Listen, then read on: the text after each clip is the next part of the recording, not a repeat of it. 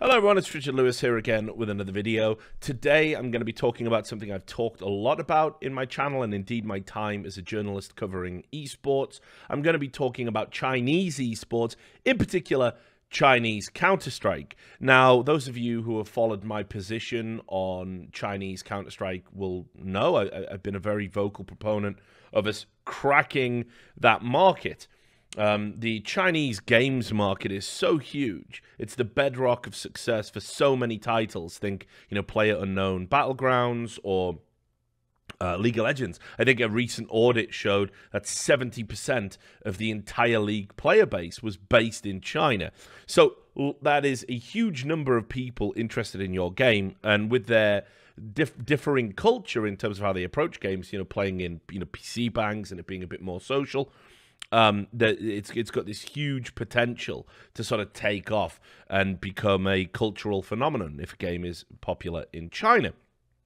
I've advocated for marketing Counter Strike slightly differently on that basis. I think because of the improved protections uh, in regards to cheating, um, which is uh, you know, you have to have your, all your kind of personal identification and social security and whatnot all linked up to your games account uh, that uh, you can probably make it free to play in Asia. It gives a huge boost in numbers, huge boost in interest, huge boost in viewers, huge boost in investment. That's always been the way that I uh, have talked about getting big in China.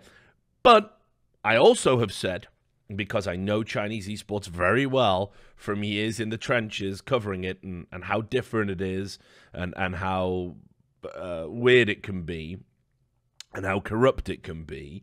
Um, that it's a beast unto itself. It is a problem that can never truly be conquered because you've got to think about it this way: um, how, how it, you know, you, we the West cannot influence China on a political level with all of its power and economics and sanctions. The idea that you're going to come into esports and say, "Hey, you're doing these things we don't like." Can you stop? Can you not do that? And they're going to go, oh, yeah, actually, yeah, yeah, of course, totally. Like, no, it's never going to happen. I've told people, and indeed I've covered multiple times, there's match fixing in Chinese CS. It's absolutely rife. It's abundantly clear when it's happening. I've got footage uh, and demos of games where it is so obvious that uh, teams are trying not to win rounds, flashing themselves, deliberately moving their crosshair up and spread. You know, and I, I talk about it with a lot of betting platforms and it's getting to the stage where they are very reluctant to even have these Chinese games on their sites. And uh, generally, it's the more nefarious platforms that are going to offer you odds because it's it's all bullshit. A lot of it is bullshit. Now, I don't want to characterize all players in China as being inherently corrupt, but this is on a this is on a business level. And I, I covered a lot of this like back in League of Legends. Uh, you know, there was there was organized crime very you know uh, not directly involved, but in such a close proximity to how some of these organizations were funded. Players were being pushed into doing things they didn't want to do, meeting people they didn't want to meet. Uh, it, it's almost forgivable for, for, for the players to be involved in some of this because it's coming down from on high uh, in a lot of cases, and it's organized. It's organized on a level that we haven't uh, probably ever come across before in the West. It's certainly on a, in my opinion, it, it's on a much bigger scale uh, than say the iBUYPOWER case was. Uh, there is something rotten at the heart of Chinese CS, just in the same way we saw something rotten at the heart of South Korean StarCraft it's on that level for me. And I and I think the sheer volume of games I see that are dubious, the sheer amount of times I'm contacted about dubious betting patterns, the sheer amount of times I see plays that make absolutely no sense and and freak results going one way or the other. I I, I think a year from now, maybe we're all going to get that rude awakening, and yeah, it's going to turn out there was a lot of bullshit going on that maybe we weren't privy to, or we didn't want to look too hard at, right? Anyway, with all of that in mind, I'm going to talk about Fierce Tiger and what just utter nonsense we've seen out of that organization in the past few days. It is classic Chinese Counter Strike. So let's get into it. So they were competing in something called the uh, Asian CSGO, so, sorry, CSGO Asia Championships. And what happened was Fierce Tiger were competing away in it, uh, and then boom, one of their players who was on the roster, a guy called Kun Leo Hu, was VAC banned for, for cheating. Now, we all know uh, Valve have made huge strides in the improving. Uh, and I know it's a meme that people say, "Oh, VAC doesn't do anything." Uh, they've implemented machine learning, you know, complex computer algorithms. They're constantly working on on Valve anti-cheat. It's really a priority for Valve, um, and as a result, you are going to see more and more people given VAC bans for supposedly private cheats. And indeed, compute with the computer learning, it now doesn't even matter whether or not it can use a detection method in the same way that Valve used to. Uh, it can now sort of detect behaviors, patterns, speed of movement, things like this, to sort of rule conclusively one way or the other whether somebody is uh, cheating or not. So uh, it wasn't a surprise to see somebody get VAC banned quite quickly. Um, usually they leave it a few weeks. Uh, so who knows how long he's been cheating, but certainly my suspicions are that he was cheating in this very prominent tournament in the CS:GO Asia tournament, and it because uh, it was three hundred thousand dollars of prize money. Um, so anyway, the player got uh, VAC banned quite publicly. There's his account there, you can see, and that means he's obviously permanently banned from Valve-sponsored and Perfect World events. But this happened while the team Fierce Tiger were competing in the uh, Asian minor, the qualifications for the Asian minor, and they were now left having to uh, replace uh, a player. Now, Perfect World and Perfect World are Valve's partner in China because how it works legally in China is if you want to make profit in China with your business, you must be partnered with a Chinese business that shares in that profit. It's the only way you can enter into that market. And a lot of times you'll hear about these Faustian pacts that companies get involved in. Uh, where the terms aren't favorable or the Chinese side of the business isn't doing things they, the way they would like, but they can't do anything because it's if you if you reject that partnership, then it then it's over. You know, you you you have to pull out of the Chinese territory, and usually fiscally, it's not worth it. So Perfect World came out and said, We will continue to investigate any of the misconduct. Additional punishment will be applied if any new issues are found, and it will not be tolerated. Our original intention for hosting the CSGO Asia Championships is to increase China's global influence by running world class tournaments while providing a highly competitive environment for Chinese teams to improve their level. This is what I was talking about when I talked about this like Chinese Super League a, a, a while ago. This is kind of what it turned into. Um, therefore, we take zero tolerance for any team or players in terms of cheating in the recent Chinese qualifier. We hope the other players and teams take this as a warning from this case. So, okay, so I mean that, that's it, right? Like you've got to hold true to the idea that maybe his teammates didn't know that Leo was cheating. Certainly, the behavior of one player shouldn't necessarily impact on all of the others. You know, think uh, KQLY uh, from the French scene and um, you know Titan. You know, is it is it fair that if all of those players were kind of tarred with that brush? Well, no. Um, uh, certainly, I think disqualifying the team is reasonable, but anything beyond that uh, is problematic. But here's the thing: if it end, if the story ends there, it's nothing really. It's player tried to cheat in big tournament to win big money or, or get the opportunity to win big money. Happens all the time. We've seen it in the online qualifiers where players will just go absolutely insane, drop huge numbers, uh, do things that are unthinkable, and beat pro teams. And we all know what's going on, but obviously, benefit of the doubt has to be applied without conclusive proof.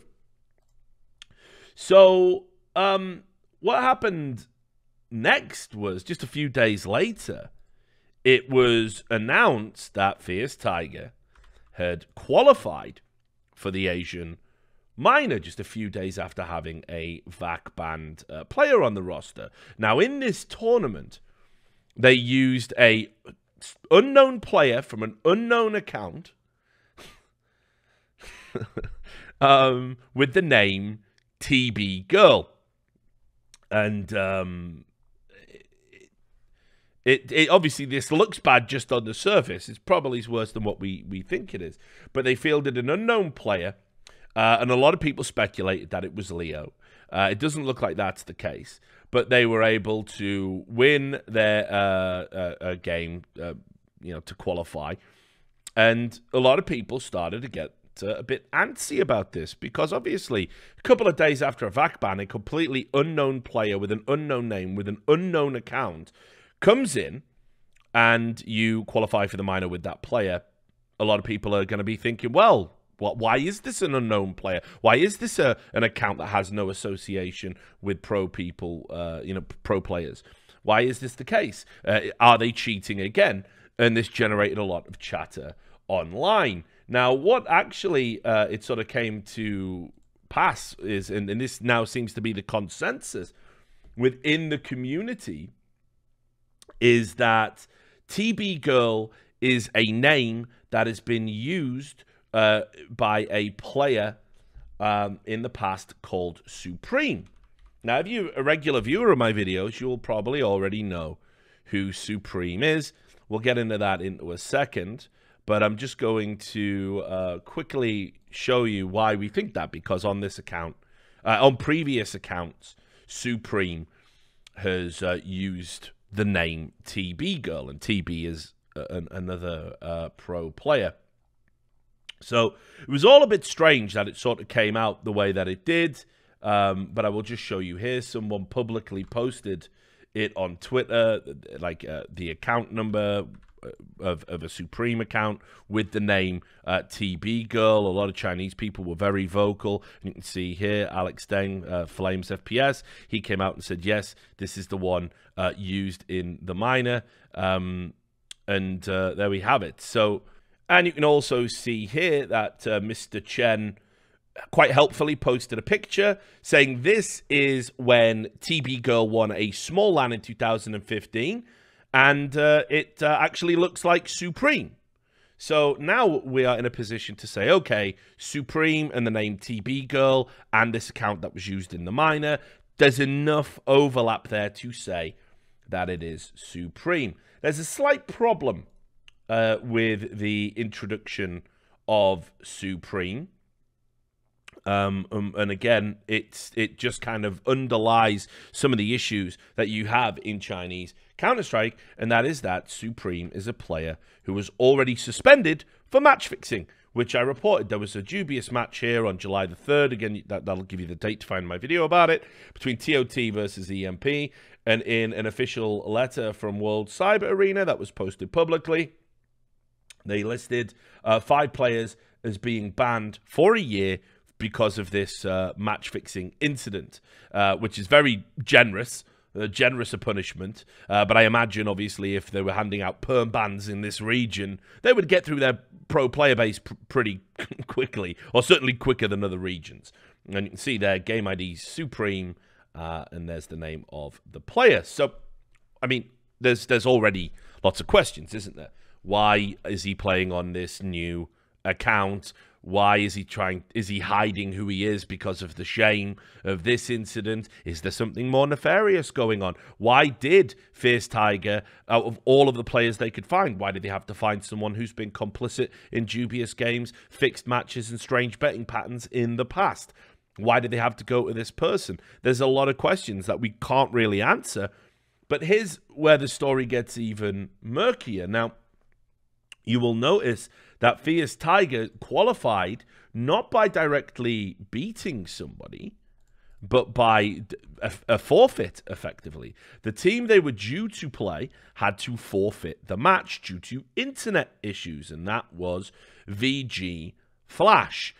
So, what were those internet issues? Well, VG Flash, their, their internet got cut. Their internet physically, the wire into their house physically got cut just before the qualifier was due to be played. Yes, that that is what happened. Interestingly enough, if you read uh, about this TOTEMP game, there was all sorts of issues about, you know, IP addresses changing, people complaining that their internet went down.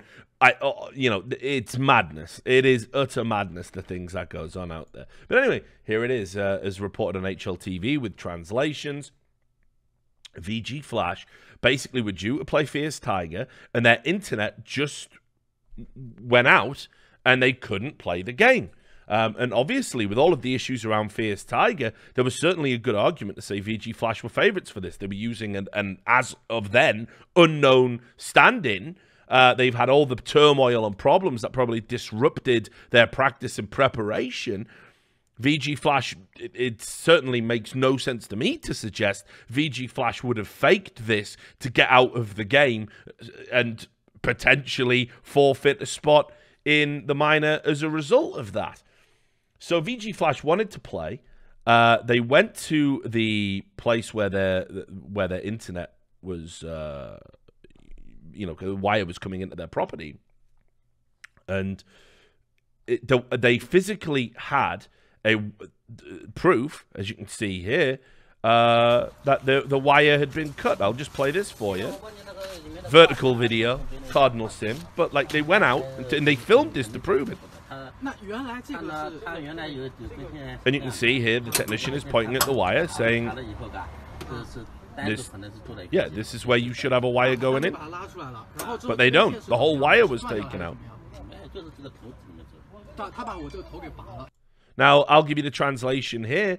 Uh, supposedly there should be a wire here, but he checked on your cable, pulled it out, and made a mark. So it was only pulled out. Then what about this wire? Maybe it's because of this plug area. So we unplugged our plug? No, they unplugged the cable inside. They unplugged the cable inside, and you've already fixed it for us. Yes. So somebody went, physically pulled the cable out to the house. That's undisputed. Now, it's incredibly strange, isn't it? That somebody would go, to, first of all, would know where VG Flash are know that they're about to play a must-win qualifier and be able to discern which wire is the one to unplug to fuck up their ability to play the game. It's kind of like I, I don't know, like this was planned, planned by someone who must have been a really big fan of Fierce Tiger because it's a hell of a coincidence that the only beneficiaries of this are Fierce Tiger. So I'll read you the Fierce Tiger side of things in just a moment. But let's have a look here first. So VG Flash said, after the map vetoes were completed, three of our VG Flash players joined the server, and at this time the internet at our place disconnected. So immediately after the vetoes, after a lot of retries to reconnect, we swiftly got in contact with the Face admins about the situation.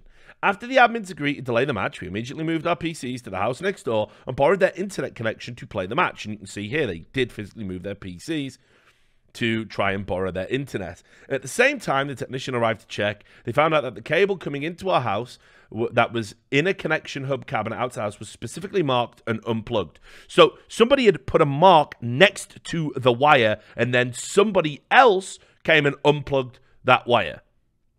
That's what we again. That's what we can discern.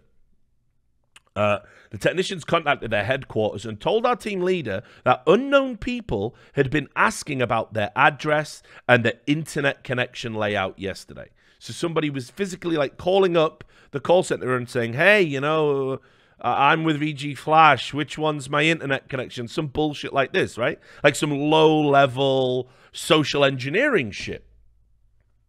Then obviously they tried to communicate what was happening during the match. Now, again, I can see no reason under these circumstances not to just simply reschedule the game. I do not understand why Fierce Tiger, sure, it's, it's for a minor, it's a big deal, but why would any professional team want to invoke the exact letter of the law when another team has been sabotaged, physically sabotaged in their team house? Why would you ever want to win that way?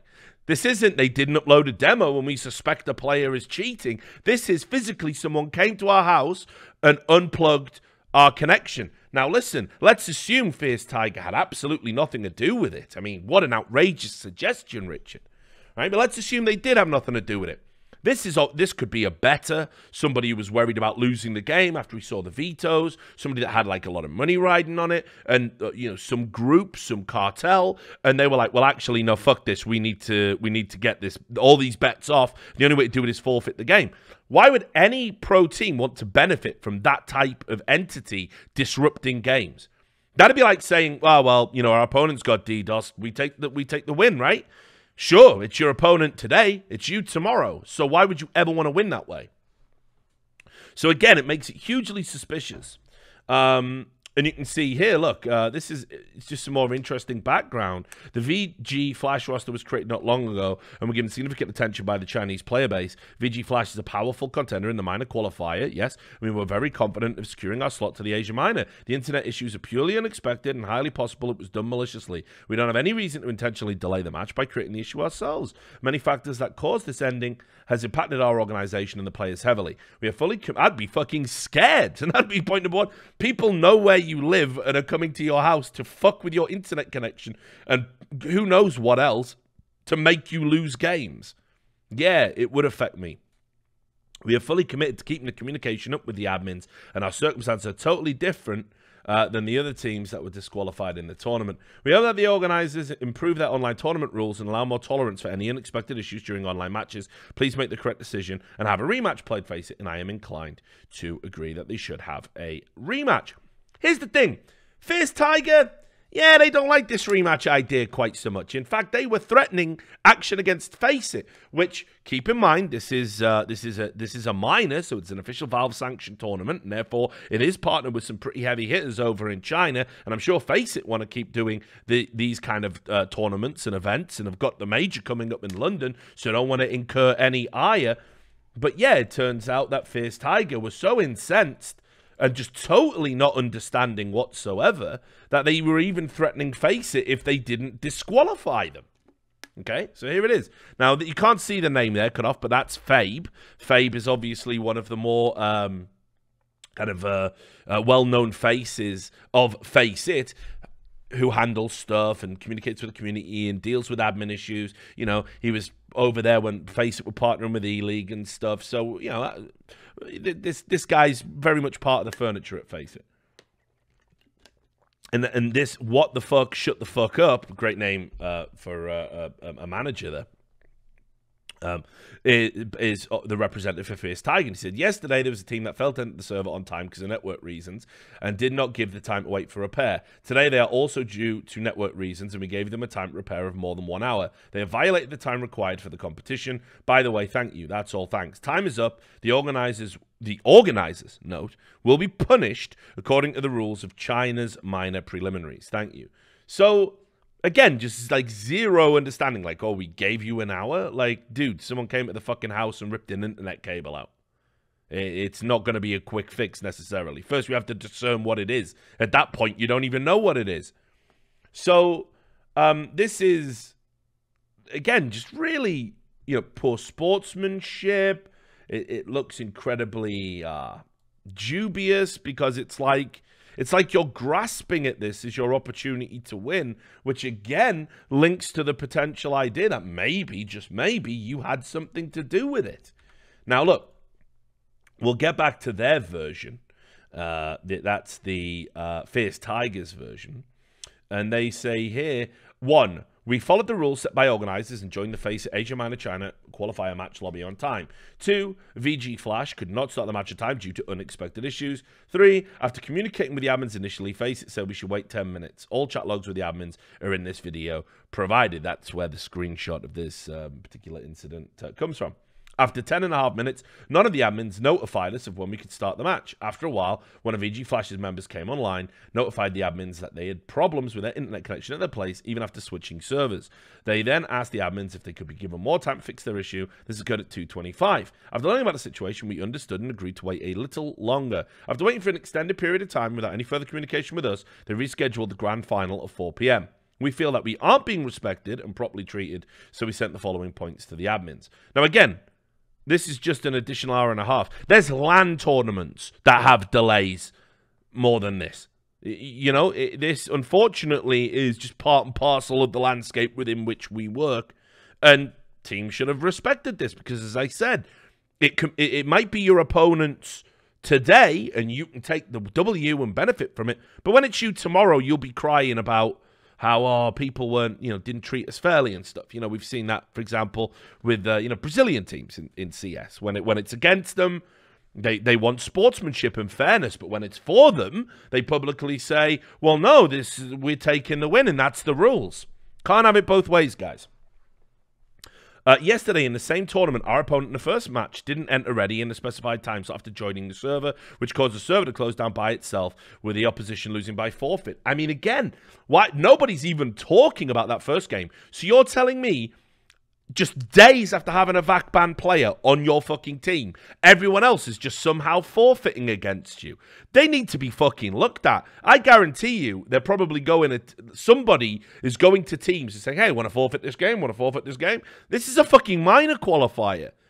This is nonsense. Uh, the second ma- the second match versus Max, only one of their players entered ready before the match started. Therefore, the match took place as a one v five scenario until the end of the game. They appealed the result to the admins, but they were also given the loss. How is one team this lucky? This is like when Mr. Burns had the fucking softball team of ringers, and one by one, they all would, ju- all of them were, you know, befallen with these misfortunes. It's incredible that it just keeps happening to benefit Fierce Tiger, doesn't it? I mean, it's madness. How is this going on?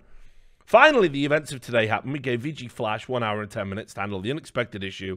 However, they delayed the match to 4 p.m. without communicating with us beforehand. Although friendship comes first and competition comes second, uh, there should be no exception to the rules. Whoever faces decision is based on their rule set. In the end, the decision was made by the organizer, and we feel deeply sorry. So, so far, the, disqualif- uh, the, the forfeit victory and them being in the minor stands. Let me tell you this.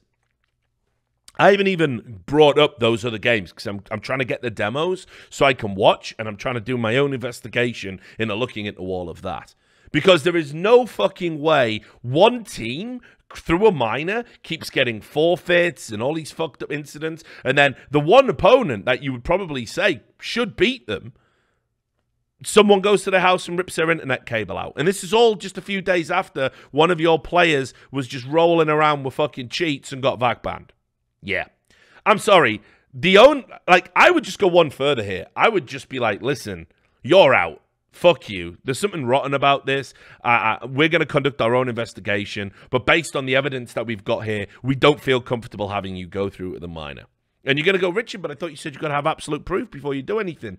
Yeah, you kind of do. But if I presented all of this, like imagine it's a court case, and if you presented all of this to a fucking jury, you would go on the balance of probability. And the balance of probability is that something is going on that is influencing these outcomes to always benefit Fierce Tiger. And that's a, of grave concern to me.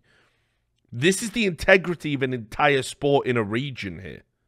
This is fucking gibberish.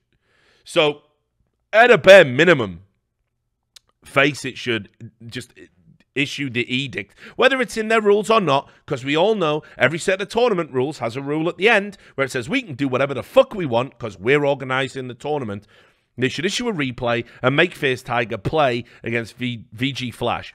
End. The end. Right? And if there's any fuckery in that game, just get them out. Just get them out because this is this is nonsense.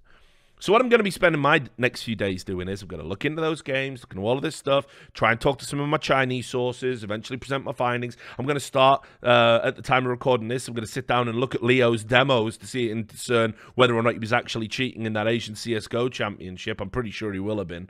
Uh, he had he had a monstrous performance on a must-win map against TYLOO. That is incredibly dubious. But yeah, this this is this is the state of Chinese CS, and it's going to stay this way unfortunately, unless people start man moding it. Like, we, we have got to take firm and tough decisions against teams that are embroiled in these kind of controversies. Enough's enough. Enough's enough. We want China to be in CS:GO. We want Chinese CS:GO to be a big thing. But all of this do all all of this is doing is just hurting it. It's going to stifle the growth. It's going to kill the game in that region because people will not want to be part of something this inherently corrupt. It's, uh, it's just nonsense. I, I can't even believe I'm having to tell you all about it. Anyway, there you go. Uh, as soon as I get my findings, I'll either present them on, on my website or, or I'll do another video. Uh, until then, take care of yourselves. Don't bet on Chinese games, guys, and I'll see you next time.